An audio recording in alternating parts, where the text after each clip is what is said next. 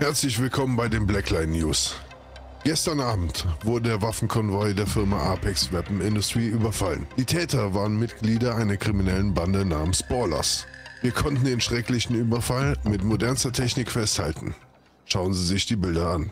Am Abend des 4. April 2024 erfolgte der regelmäßige Waffentransport an das Polizeidepartement. Die Mitarbeiter von Apex Weapon Industries wurden wie immer von der Polizei eskortiert. Die Routen der regelmäßigen Transporte sind streng geheim und nur wenigen bekannt. Leider gab es diesmal eine undichte Stelle.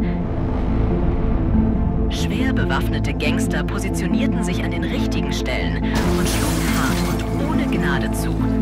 Dabei wurden Beamte des Polizeidepartement und Mitarbeiter von Apex Weapon Industries verletzt. Die Gangster waren sehr gut organisiert und nutzten schweres Gerät, um den Transport zu stellen.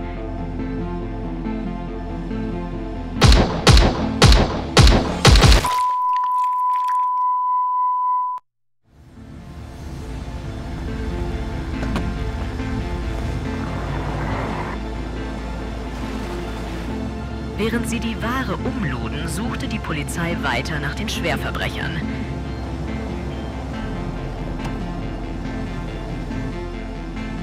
Nach einer kurzen Zeit konnten sie die Täter ausfindig machen, was zu einer wilden Verfolgungsjagd mit Schusswechseln durch die ganze Stadt führte.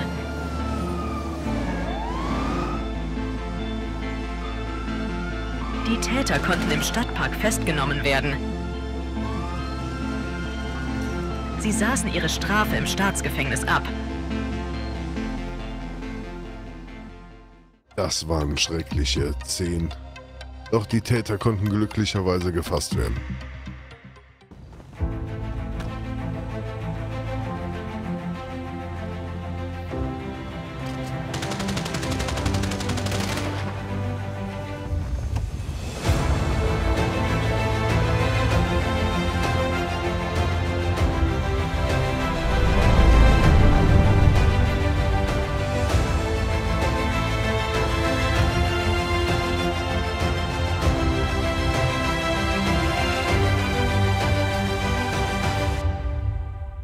Das war unsere erste Ausgabe der Blackline News.